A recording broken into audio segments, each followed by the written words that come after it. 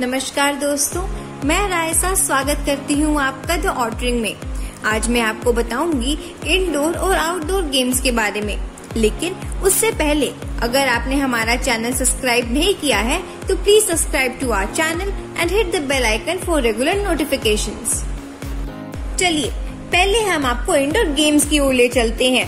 शतरंज, ludo, carrom card games board games musical chair marbles pillow games, table tennis etcetera ये खेल मौसम से प्रभावित नहीं होते हैं। ज़्यादा स्थान भी नहीं घेरते हैं। चोट लगने का डर भी नहीं रहता है। और तो और, इनको आउटडोर गेम्स की तरह करियर के रूप में भी चुना जा सकता है। अंतर्राष्ट्रीय स्तर पर भी अब इंडोर गेम्स की प्रतियोगिताओं का आयोजन किया जाता है। आई वर्ल्ड इंडोर चैंपियनशिप का आयोजन होता रहता है। खेलने वालों को अधिक मेहनत भी नहीं करनी पड़ती। Football cricket rugby volleyball hockey baseball hide and seek kho kho kabaddi आदि। आउटडोर गेम्स में खुले जगह की ज़रूरत होती है और तो और ज़्यादा प्लेयर्स की भी। हेल्थ को देखा जाए तो आउटडोर गेम्स ज़्यादा बेनिफिशियल है। एक्सरसाइज भी हो जाती है सभी अंग गतिशील हो जाते हैं मांसपेशियाँ मज़बूत बनती हैं, बच्चों की हाइट भी बढ़ती है दिमाग का विकास भी बहुत तेज़ी से होता है। परंतु मौसम का प्रभाव इन खेलों पर बहुत बुरा प्रभाव डालता है।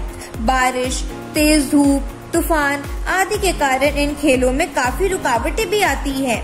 कई बार तो वर्ल्ड कप भी रुक जाता है बारिश के कारण।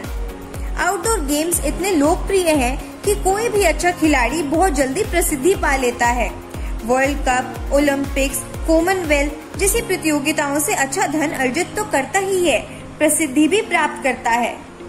अवार्ड्स तो आउटडोर और इंडोर दोनों गेम्स के लिए ही दिए जाते हैं। जब कोई खिलाड़ी आउटडोर गेम्स के लिए बाहर जाता है तो उसके देश विदेश में कई दोस्त बन जाते हैं और व्यवहार भी कुशल बन जाता है, जिससे उन्हें सामाजिक मूल्यों का भी पता चलता है।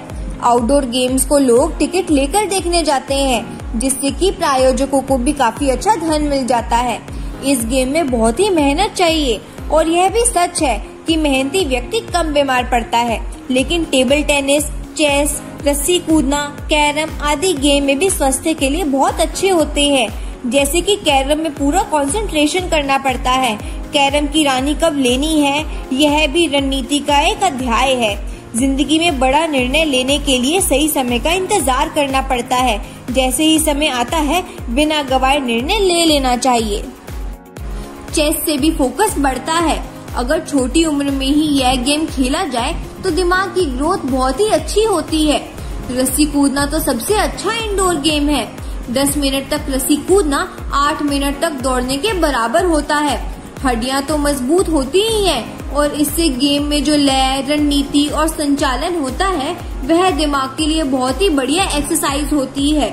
इससे मांसपेशियों का दर्द, जकड़न आदि समाप्त हो जाता है। पैरों की मांसपेशियाँ भी मज़बूत हो जाती हैं। परंतु आजकल की युवा पीढ़ी और बचपन दोनों को ही व्यस्त है, वीडियो गेम, मोबाइल और टीवी में, जो कि दिमाग और सेहत दोनों के लिए ही हानिकारक है। आज की इस वीडियो में बस इतना ही।